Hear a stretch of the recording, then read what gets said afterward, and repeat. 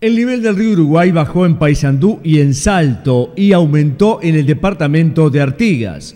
Hay 3.160 personas desplazadas, de las cuales 1.948 corresponden al departamento de Paysandú, 1.033 a Salto y siguen 179 personas fuera de sus hogares en el departamento de Artigas.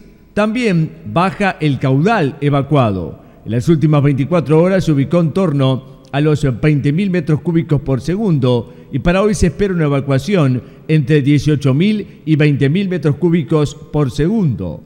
UTE informó en el Comité Departamental de Emergencia que incrementó los cortes de energía eléctrica en Paysandú y son 146.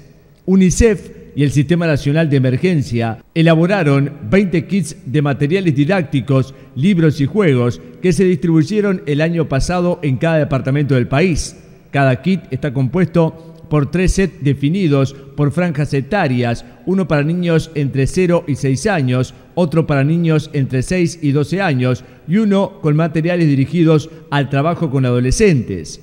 El contenido de los kits cuenta con perspectiva de género y diversidad e incluye materiales inclusivos específicos para niños y adolescentes con discapacidad ahora son utilizados en los centros de evacuación que están funcionando en los departamentos afectados por las inundaciones. Por su lado, el río Paraná acelera su crecimiento, además de una nueva onda de crecida proyectada en la cuenca del Uruguay entre viernes y sábado.